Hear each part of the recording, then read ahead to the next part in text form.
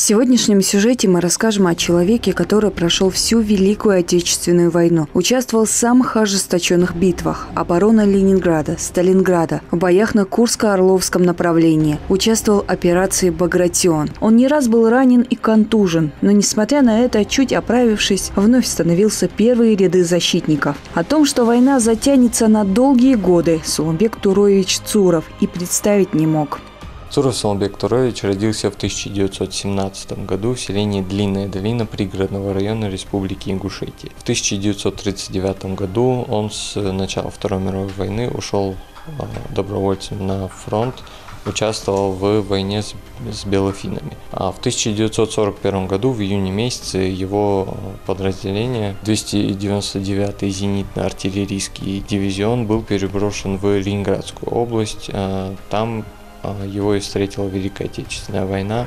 До войны Сулумбек, окончив местное железнодорожное училище, работал на Орджоникидзевском вагонно-ремонтном заводе имени Кирова газоэлектросварщиком. У него было сильное желание продолжить учебу. Он даже поступил на вечернее отделение Орджоникидзевского техникума советской торговли. Но в сентябре 1939 года он, как было сказано ранее, отправляется служить в составе 299-го отдельного зенитно-артиллерийского дивизиона. В боях с белофинами им были получены первое боевое крещение, первое ранение и первая медаль за отвагу. В составе этого же дивизиона он будет сражаться за город на Неве с первых дней Великой Отечественной войны. Советская Родина удостоила, а, удостоила его многими наградами, а, среди которых Орден Красной Звезды, Орден Отечественной первой и второй степени, медаль за боевые заслуги, медаль за отвагу и многие другие.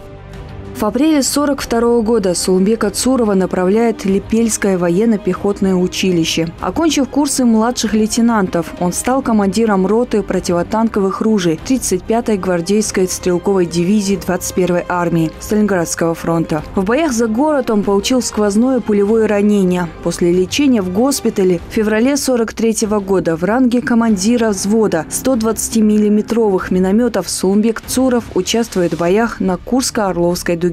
То, что было утром 5 июля 43 года, он запомнил на всю жизнь. Огонь, грохот танков, взрывы бомб, артиллерийская канонада и его батарея минометчиков, которая вела уничтожающий огонь по пехоте противника. В этих боях Цуровым были уничтожены более 100 гитлеровцев. В боях за Смоленск он получил осколочное ранение. В 44-м уже гвардии лейтенант Сумбек Туроевич участвует в операции «Багратион».